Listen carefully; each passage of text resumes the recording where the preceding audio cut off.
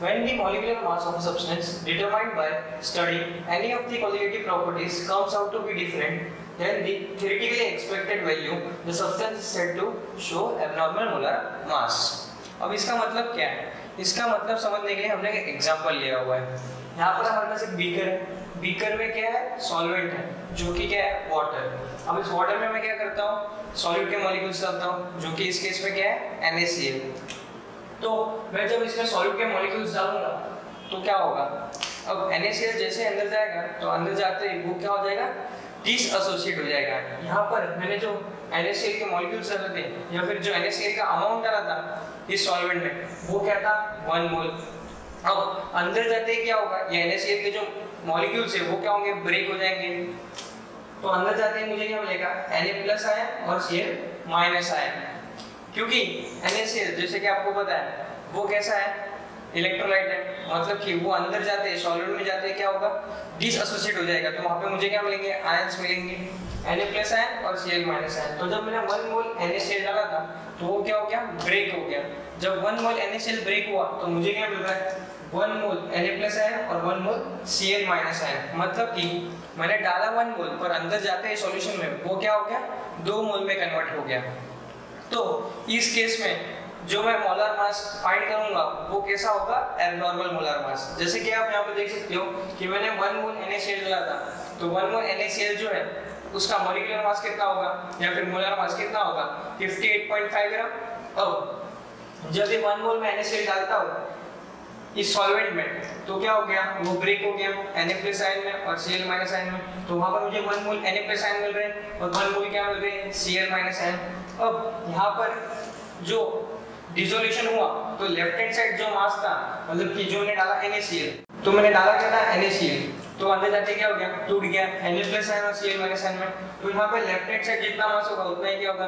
Right hand side क्योंकि यहाँ पे law of conservation of mass क्या होगा? फॉलो होगा। मतलब कि यहाँ पर जो NaCl का मास था टोटल वो क्या था? 58.5 ग्राम तो इस साइड भी इन दोनों का मिला के Na का 23 ग्राम और Cl का 35.5 ग्राम क्योंकि यहाँ पे one mole Na plus ion से और यहाँ पे one mole Cl minus ion से। तो लेफ़्ट हैंड साइड और राइट हैंड साइड जो मास होगा, वो तो सेम होगा। लेकिन जो मोलर मास है, वो क्या हो जाएगा? चेंज हो जाएगा। क्योंकि इस केस में लेफ़्ट हैंड साइड हमारे पास जो गिवन मास था, वो कितना है? 58.5 ग्राम और जो नंबर ऑफ़ मोल्स है, वो कितने हैं? 1 तो उस केस में जो मोलर मास मिलेगा, वो भी क्या होगा? 58.5 ग्राम पर जब हम राइट हैंड साइड मतलब डिसोल्यूशन होने के बाद के केस में अगर कैलकुलेट करते हैं तो वहाँ पर क्या होगा? वहाँ पर हमारे पास 1 मोल Na प्लस आयंस है और 1 मोल Cl माइनस आयन है। मतलब कि मेरे पास एक्चुअली में कितने मोल्स है? 2 मोल है। और मेरे पास जो टोटल मास है, वो कितना है? इस केस में भी क्या होगा? 58.5 ग्राम ही होगा।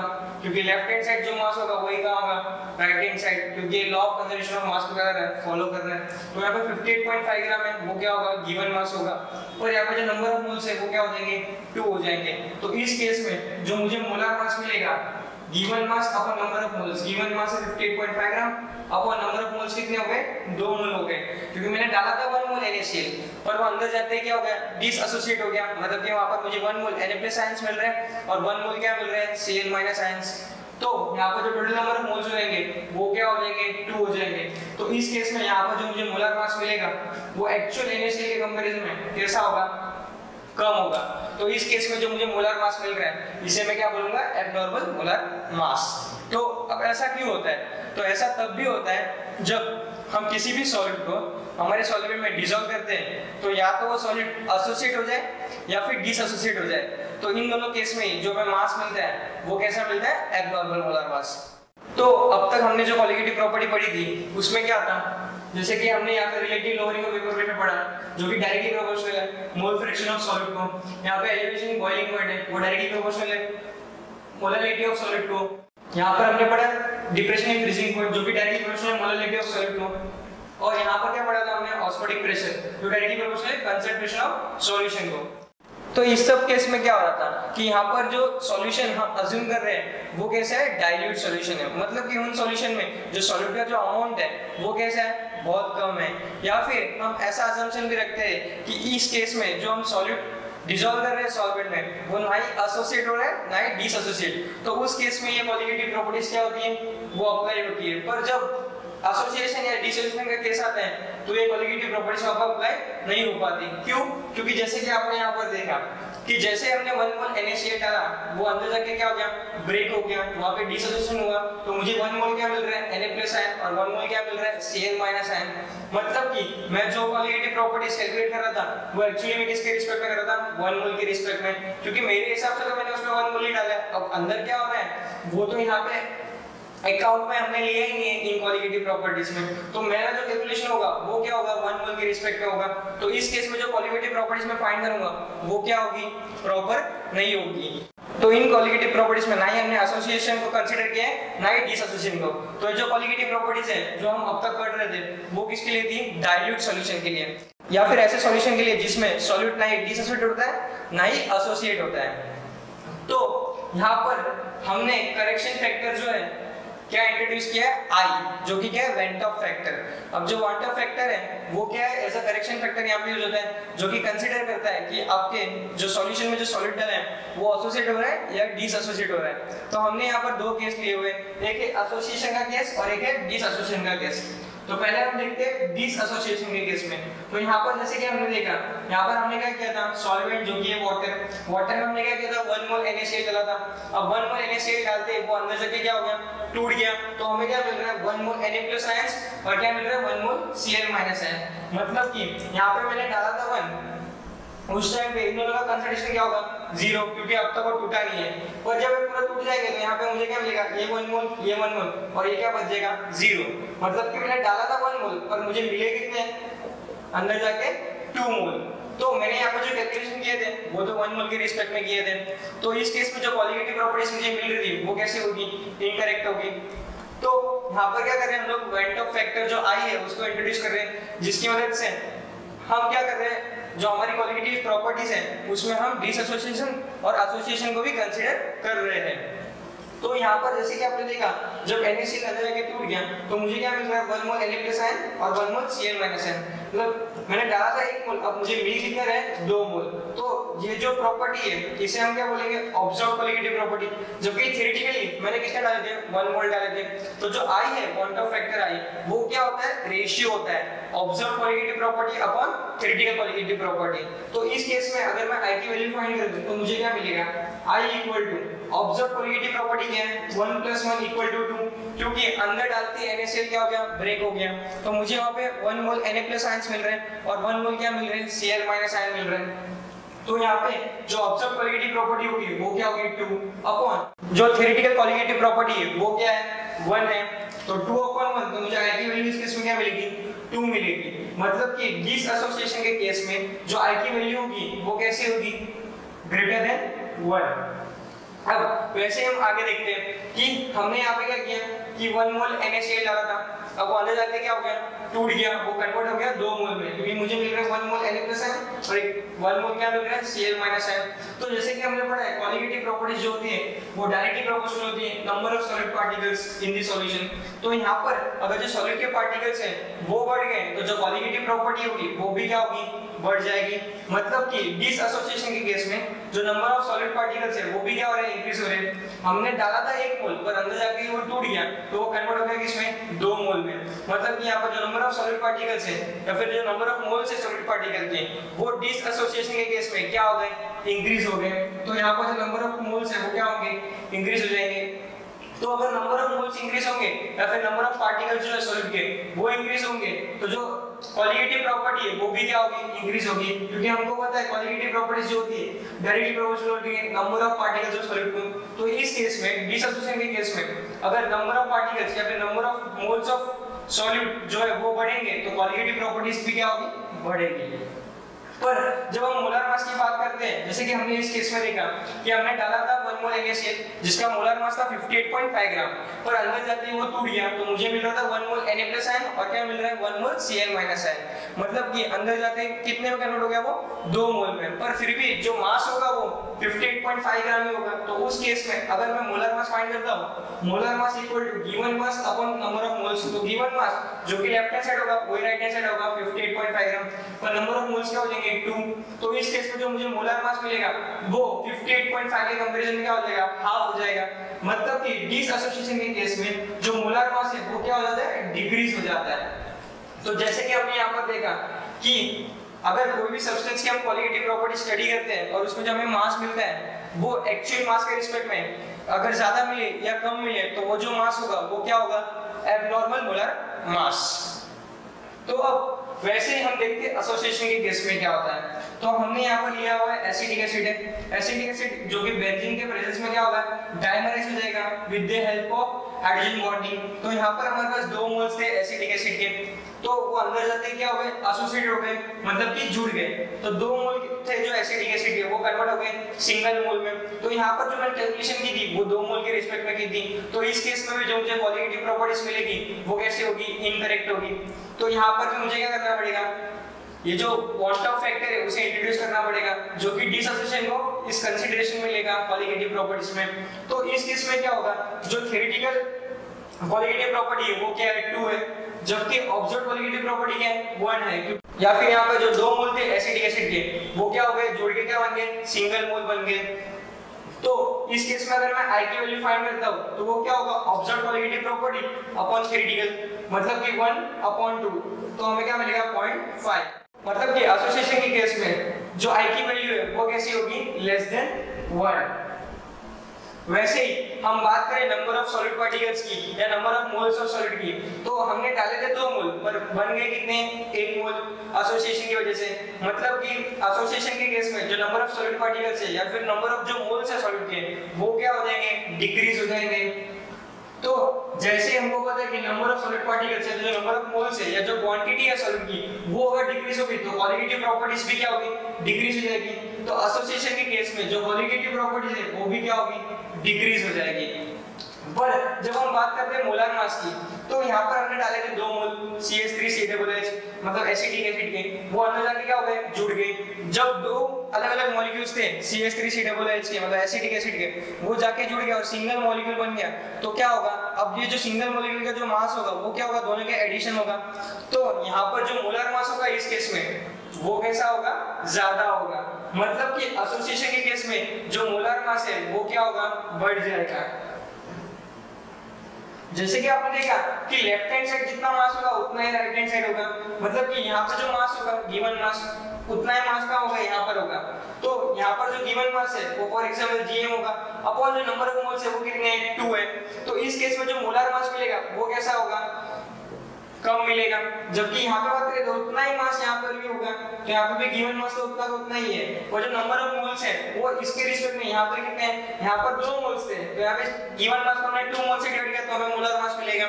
यहाँ पे हम गिवन मास को किससे डिवाइड करेंगे? वन से, क्योंकि यहाँ पर एक ही मोल है। तो इस केस में जो हमें मोलर मास मिलेगा, वो क्या होगा? इससे डबल होगा। मतलब कि एसोसिएशन के केस में जो मोलर मास होता है, वो क्या होता है? इंक्रीज हो जाता है। तो जैसे कि आप ये टेबल देख सकते हो, इस टेबल में क्या किया हमने? एसोसिएशन और डिसोसिएशन केस में सब रिलेशंस लिए।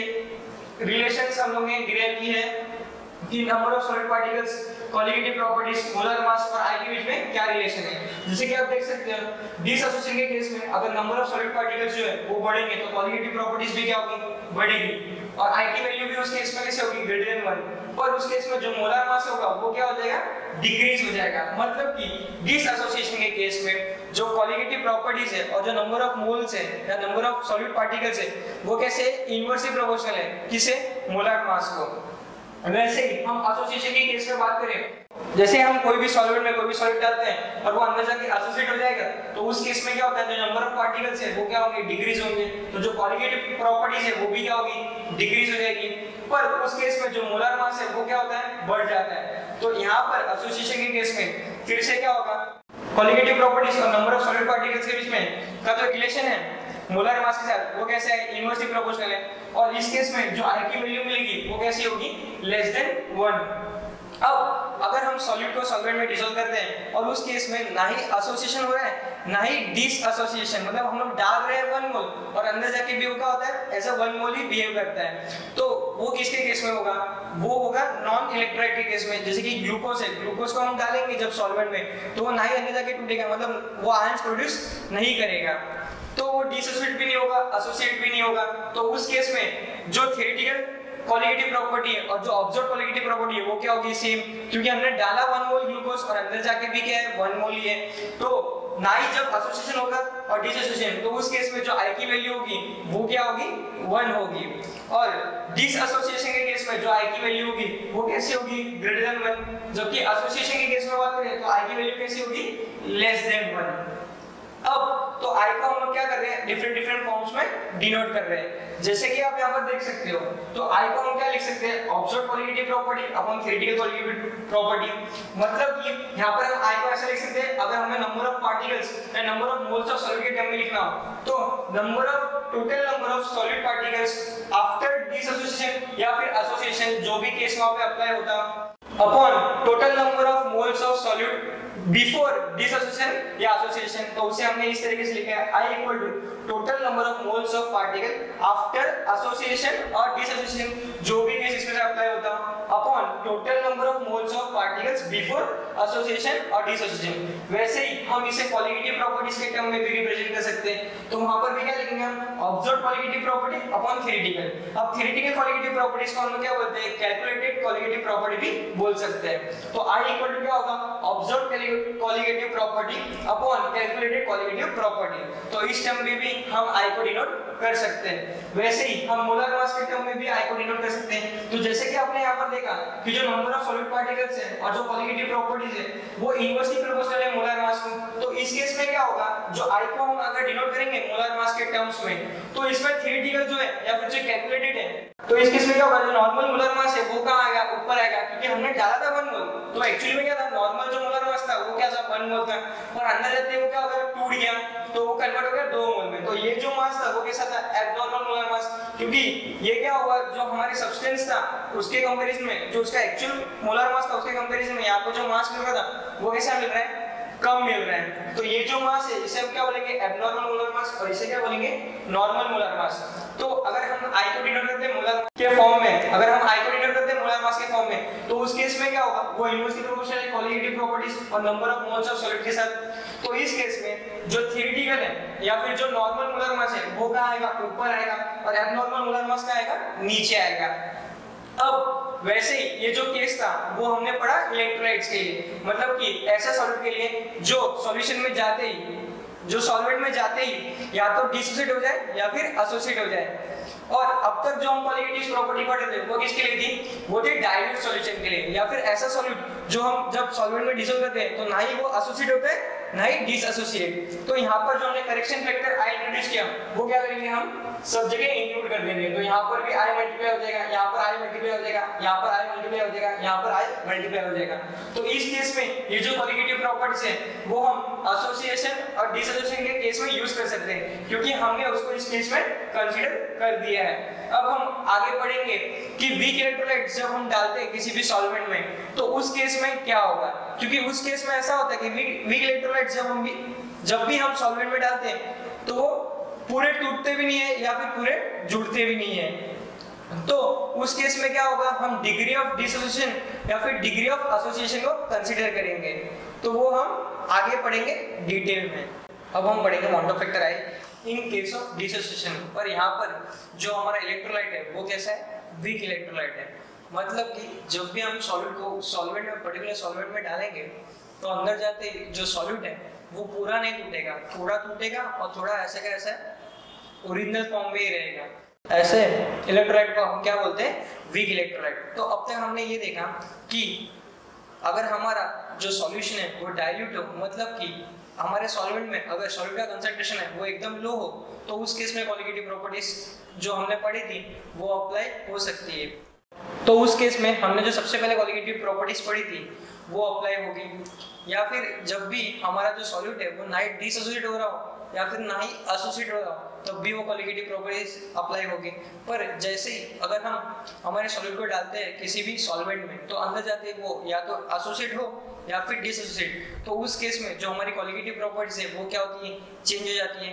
तो उस केस में हमने क्या किया कि यहाँ पर जो करेक्शन फैक्टर था वन ऑफ़ फैक्टर आई वो हमने इंट्रोड्यूस किया। तो इसके पहले जो हमने केस पढ़े थे, वो किसके लिए थे? इलेक्ट्रोलाइट्स के लिए थे। पर वो कैसे थे? स्ट्रॉन्ग थे। मतलब कि अगर हम वो सॉल्यूट में डाले मतलब कि अगर उस सॉलिड को हम सॉल्वेंट में डालेंगे तो वो या तो पूरा टूट जाता था, या फिर जो भी हम लोग मॉलिक्यूल्स डाले, वो पूरे पूरे जुड़ जाते थे। तो वहाँ पर जो एसोसिएशन था या डिसोसिएशन था, वो पूरा था। पर यहाँ पर क्या हो रहा है कि जो एसोसिएशन है या फिर डिसोसिएशन केस है, इस केस में क्या हो रहा है, वो पूरा नहीं हो रहा है। क्योंकि यहाँ पर जो हमने इलेक्ट्रोलाइट कंसीडर किए वो कैसे वीक इलेक्ट्रोलाइट तो आपको इलेक्ट्रोलाइट तो पता ही होगा कि जब भी हम लोग सॉल्वेंट में किसी भी सॉलिड को डालते हैं तो अंदर जाते हैं, वो अगर वो आयंस में कन्वर्ट हो जाए पॉजिटिव आयन नेगेटिव आयन मतलब कि वो क्या है? इलेक्ट्रोलाइट है। तो यहाँ पर जो हमने केस कंसिडर किया है, वो है डिसोसिएशन का और वीक इलेक्ट्रोलाइट तो जैसे कि हमने यहाँ पे लिया C H three C double H जो कि एसिड है, जो कि कैसे वीक एसिड है।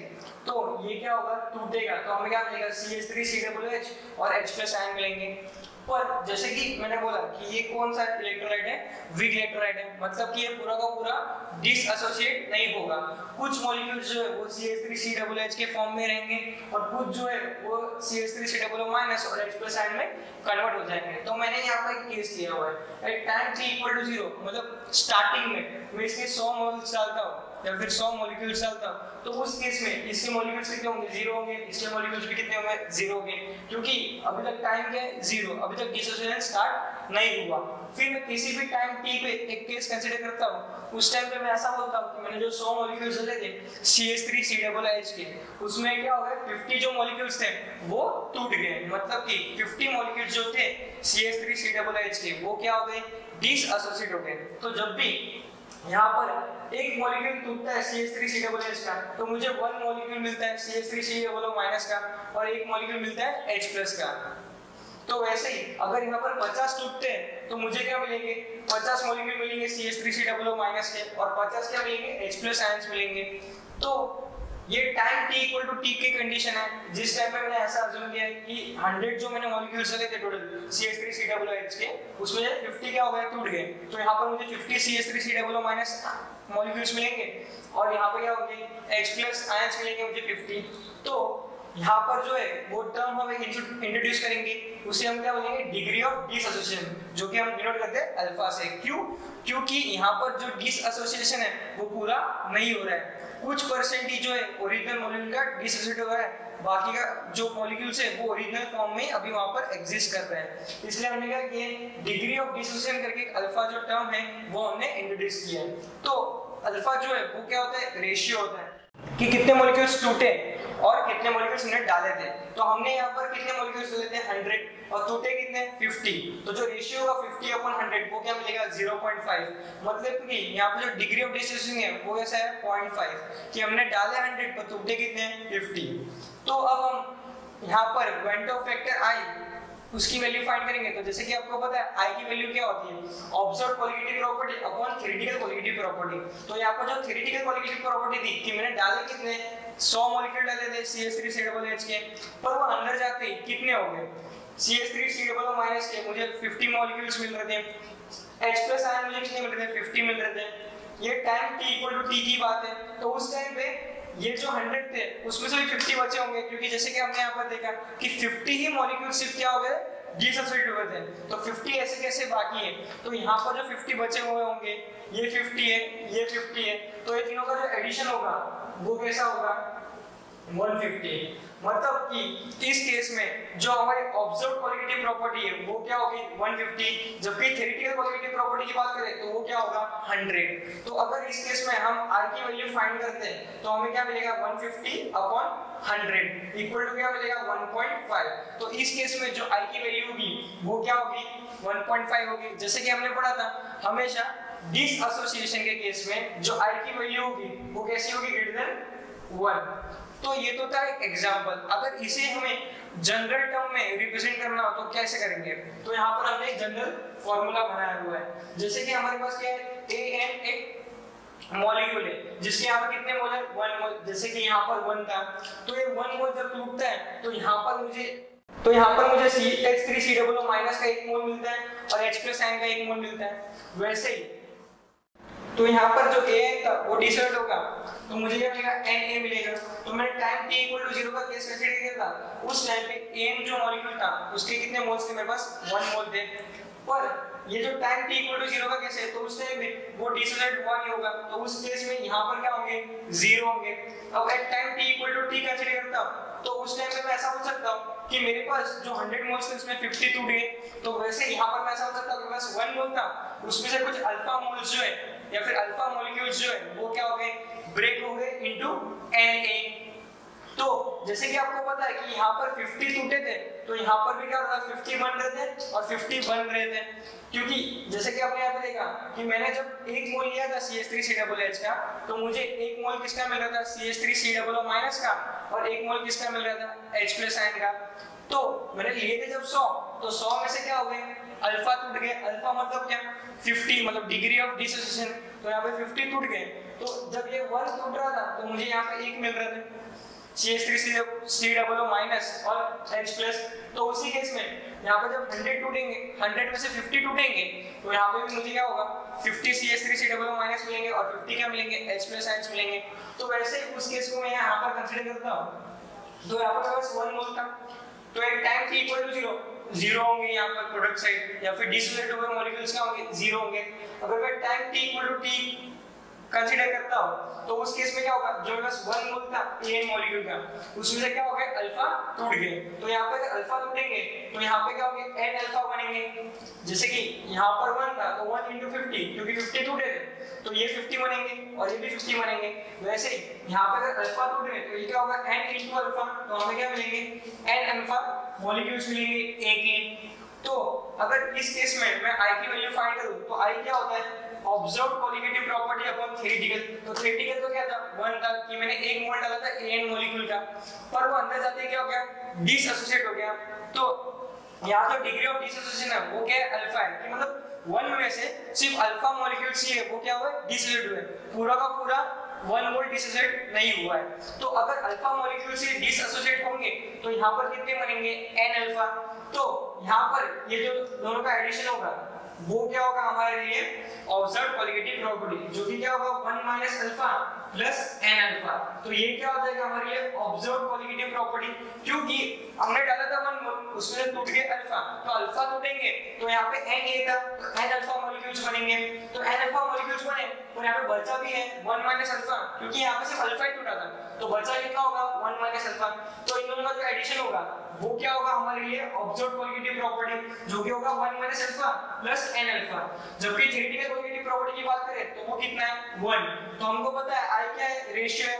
Observe colligative property upon theoretical colligative property तो इस केस में हम इसका और इसका रेशियो निकालेंगे तो हमें i क्या मिलेगा? I equal to 1 minus alpha plus n alpha upon 1 observe colligative property upon. Theoretical colligative property तो i इक्वल टू क्या हो जाएगा?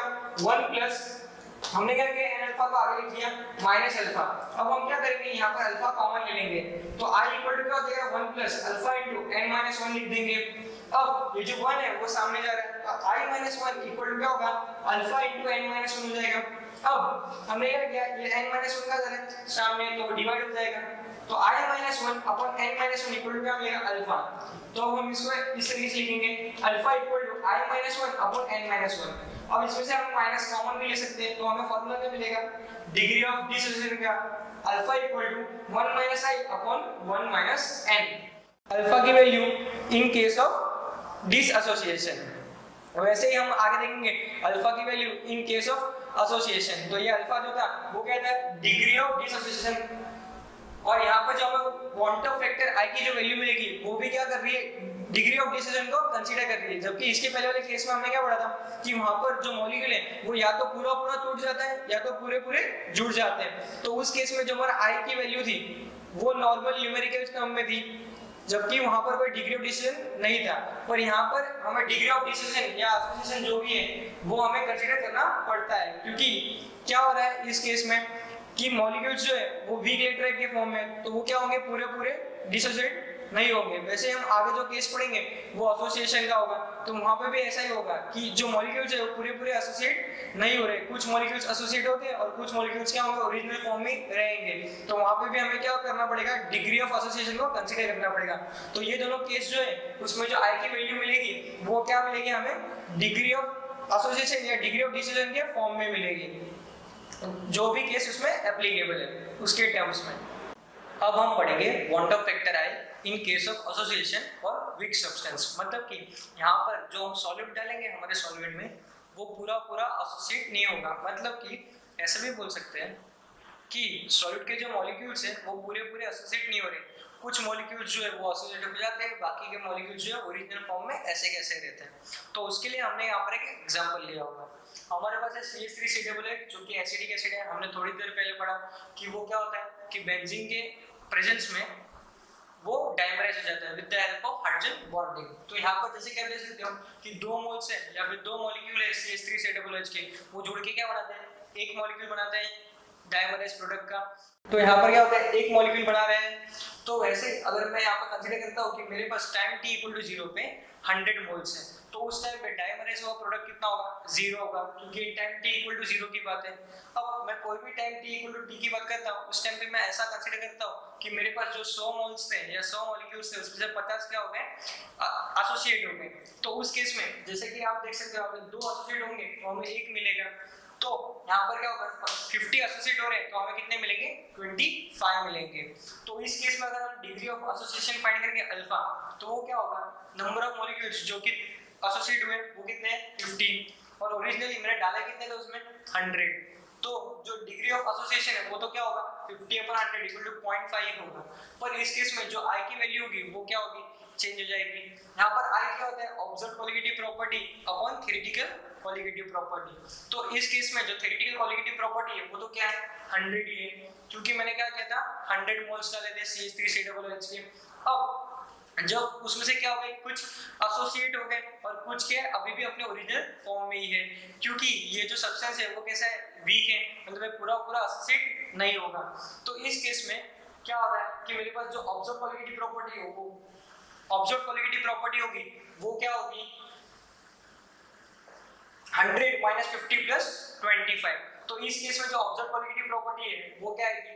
75 आएगी. मतलब इस केस में अगर मैं i की वैल्यू फाइंड करता हूँ तो वो क्या होगा? 75 अपॉन 100 मतलब कि i की वैल्यू कैसे मिलेगी मुझे? पॉइंट क्योंकि हमें जो 50 मोल्स या 50 मॉलिक्यूल्स जो यहाँ बच गए वो भी हमें हमें कंसीडर करने होंगे, क्योंकि 100 में से 50 एसोसिएट हुए। और जब 50 एसोसिएट होंगे तो बनेंगे कितने? 25 तो यहाँ पर 25 मिले और यहाँ पे बचे कितने? 50 तो 50 प्लस 25 कितने होंगे? 75 तो वो क्या होगी? हमारी ऑब्ज़र्व कोलिगेटिव प्रॉपर्टी जबकि थ्योरेटिकल कोलिगेटिव प्रॉपर्टी क्या होगी? वो थी 100 क्योंकि हमने स्टार्टिंग में 100 मॉलिक्यूल्स डाले थे। तो अब 75 अपन 100 करेंगे तो हमको आई वैल्यू क्या मिलेगी? 0.75 जैसे कि हमने पढ़ा था एसोसिएशन के केस में हमेशा आई वैल्यू क्या होती है? लेस देन 1 तो ये था एग्जांपल पर अब हम इसे जनरल फॉर्म में डिनोट करना तो कैसे करेंगे? तो उसके लिए भी हमने केस कंसीडर किया हुआ है। यहाँ पे हमारे पास क्या है? N मॉलिक्यूल्स हैं, a के। तो वो क्या हो जाते हैं? एसोसिएट होने के बाद क्या बनता है? An बनता है। जैसे कि यहाँ पर दो मॉलिक्यूल जुड़ के क्या बनाते थे एक मॉलिक्यूल बनता था। वैसे ही यहाँ पे n मॉलिक्यूल जुड़ के क्या बनाएँगे? An बनाएँगे। तो यहाँ पे मैंने केस कंसीडर किया है टाइम टू 0 पे। तो टाइम टू 0 पे मैंने ऐसा बोला कि मेरे पास कितना मोल है? A का 1 मोल या फिर एक ही मॉलिक्यूल है। तो उस टाइम पे यहाँ पर जो एसोसिएट मॉलिक्यूल होंगे एसोसिएटेड मॉलिक्यूल्स होंगे, वो क्या होंगे? ज़ीरो होंगे। अब time t equal to t की बात करूँ तो उस टाइम मैं ऐसा बोलता हूँ कि मेरे पास जो वन मॉलिक्यूल था, उसमें से अल्फ़ा जितने हैं, वो क्या हो गए? एसोसिएट हो गए। तो जब अल्फ़ा एसोसिएट होंगे तो यहाँ बनेंगे कितने अल्फ़ा अपॉन n ये कैसे आया? जैसे कि हमने यहाँ पर देखा था। जब दो मॉलिक्यूल एसोसिएट होंगे तो बनेंगे कितने? वन वैसे इस केस में क्या देखा कि जब n मॉलिक्यूल्स एसोसिएट होंगे तो बनेंगे कितने? 1 by n. मतलब ए तो इसी केस में वैसे यहाँ पर क्या होगा? Tan t इक्वल t पे अगर अल्फ़ा मॉलिक्यूल्स जो है, वो एसोसिएट हो रहे हैं तो यहाँ पर बनेंगे कितने? अल्फ़ा बाय n मॉलिक्यूल्स तो इस केस में जो हमारी ऑब्ज़र्व कोलिगेटिव प्रॉपर्टी होगी, वो क्या होगी? 1 minus alpha plus alpha by n. जबकि थ्योरेटिकल कोलिगेटिव प्रॉपर्टी क्या होगी? 1 होगी. तो यहाँ पे हमने आई को क्या किया? रिप्रेजेंट किया। Observed upon critical quality property के टर्म्स में। तो i इक्वल टू क्या हो जाएगा?